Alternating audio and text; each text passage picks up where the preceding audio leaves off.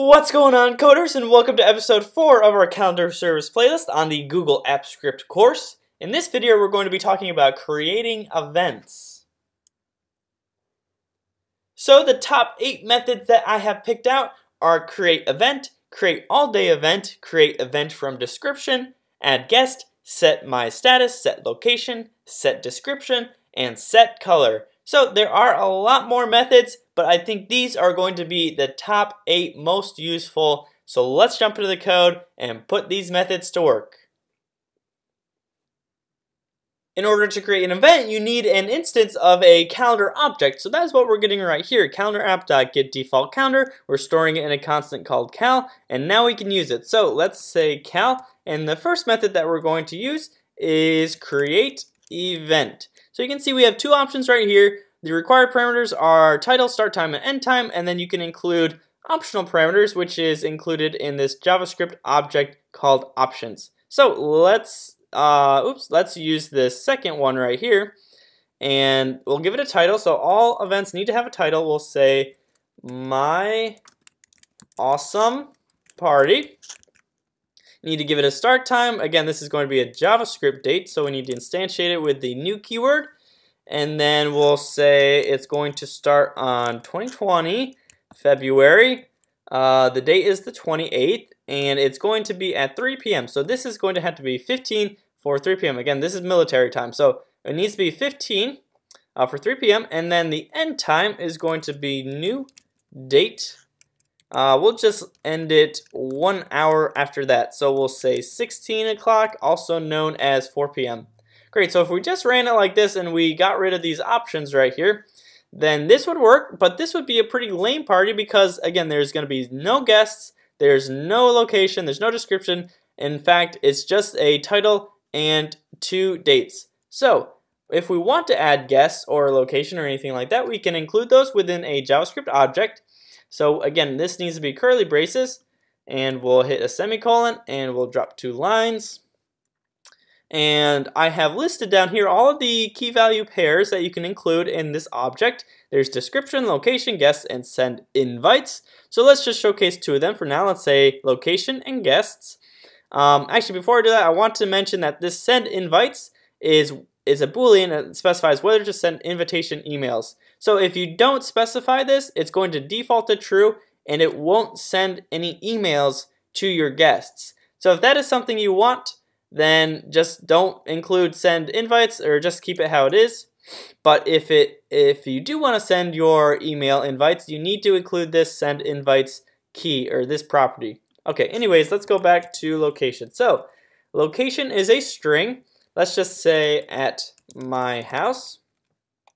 And then you also, and then let's also include guests. So if we say guests, this it takes there this uh, this value is a string. So it's not an array or anything. It's all contained within a string.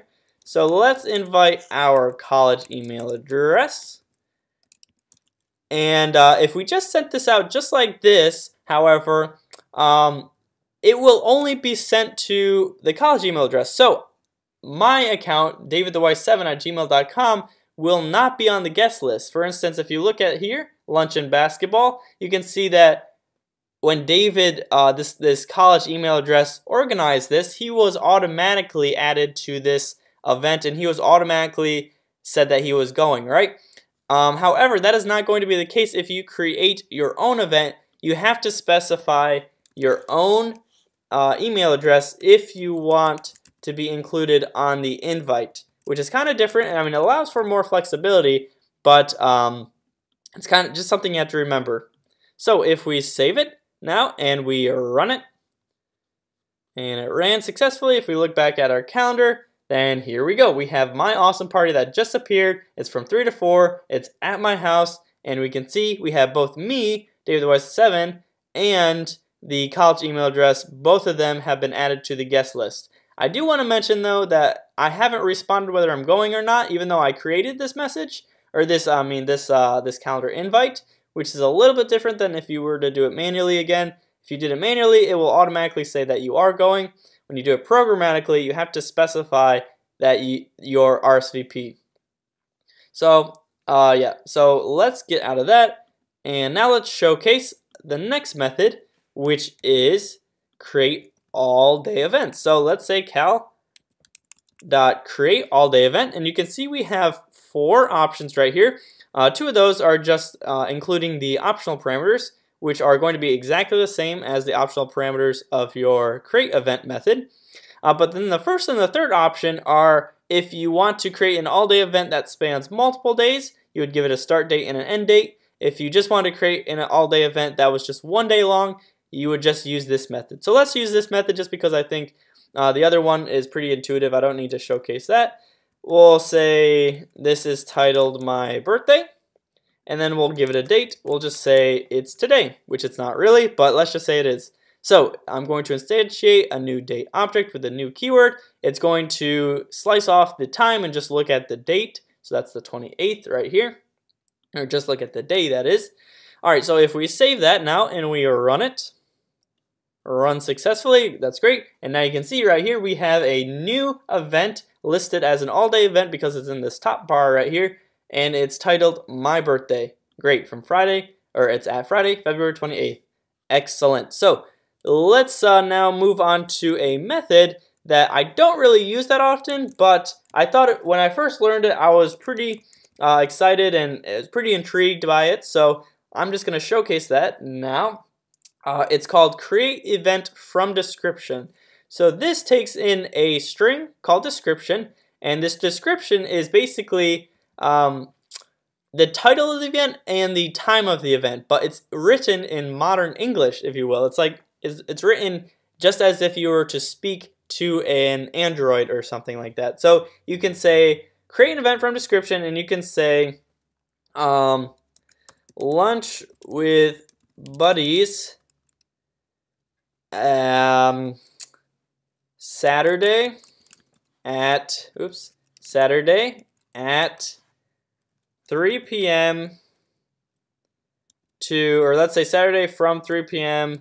to 4 p.m., which is an extremely late lunch, but let's just give it a go. So this is written in modern plain English, right? Lunch with buddies Saturday. Like it would be as if you were telling AppScript, hey, create an event, uh, and it's lunch with buddies Saturday from 3 to 4 p.m.